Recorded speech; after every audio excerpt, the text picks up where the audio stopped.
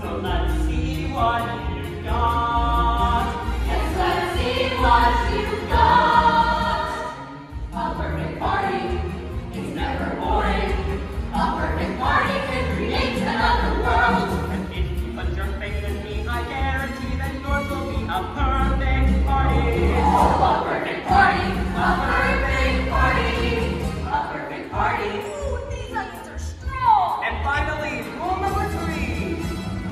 Once you've got your friends behind you. Once you've got your beam in mind, you've only got a final